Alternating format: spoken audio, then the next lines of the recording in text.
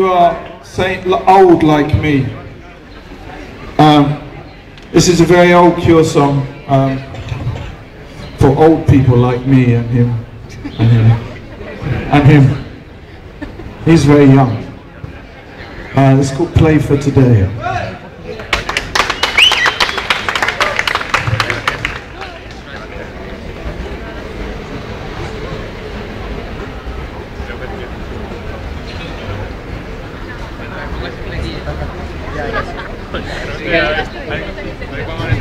I remember when I was 16 years old and I heard this song for the first time and I was kissing my girlfriend, Sue Potter.